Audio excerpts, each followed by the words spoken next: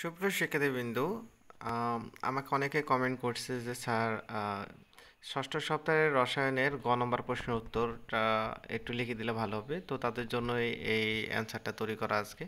তো তার আগে বলে দিই যে কমপক্ষে তিনটি আইসোটোপের ব্যবহার দেখাতে হবে গ নম্বর প্রশ্নের উত্তরে। তো সেখানে মূলত আইসোটোপগুলোর কথা বলে দেওয়া হয়েছিল, কমপক্ষে সাতটা আইসোটোপ ছিল, তাদের মধ্যে কমসে কম তিনটা আইসোটোপের ব্যবহার দেখাতে হবে।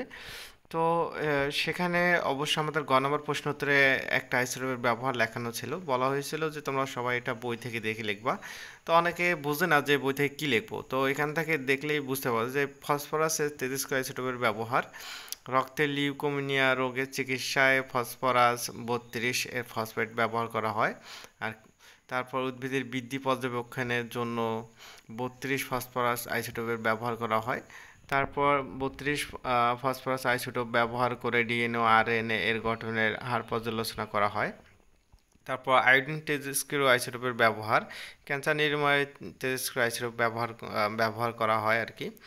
তারপরে আই, একশো একত্রিশ আয়োডিন ব্যবহার করা হয়। তারপরে গলগণ্ড রোগের চিকিৎসায় ও রক্তের ব্যবহার করা হয় আয়োডিন ব্যবহার করা হয় আর কি তারপরে কার্বনের তেজস্ক্রিয় আইসোটোপের ব্যবহার, পৃথিবীর বয়স নির্ধারণে কার্বন চোদ্দ আইসোটোপ ব্যবহার করা হয়। তো এইভাবে অ্যান্সারটা লিখলেই হয়ে যাবে।